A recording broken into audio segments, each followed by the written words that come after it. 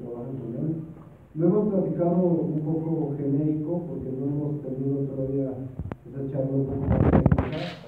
Nos reunimos, platicamos de, de muchas generalidades, nos conocimos realmente, esa fue, ese fue el primer contacto con el profe. Eh, pero coincidimos en, en, en, muchas de las circunstancias que, que, tú mencionas, o sea, en esa parte donde tratar de, de beneficiar eh, realmente al jugador de acuerdo a, a, ¿eh? Ya nos pasó un poco con Salcedo en, el, en, la Copa América pasada, que se lo llevaron, estuvo 45 minutos y se perdió un Panamericano.